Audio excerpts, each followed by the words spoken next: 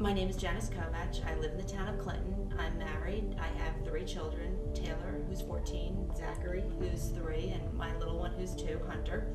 I grew up here in Hunterdon County. I went to Clinton Public School, graduated from North Hunterdon, and moved back here because this is where I want to raise my family. Our taxes continue to go up. Important to the residents to have a balanced budget. They benefit by having their taxes reduced. Clinton is a perfect example of a thriving small business community that supports Hunterdon County as well as residents in Warren County. We don't want to see overdevelopment here. We've got areas that need to be preserved, areas that are important to the environment. We don't want to have all development along our Route 78.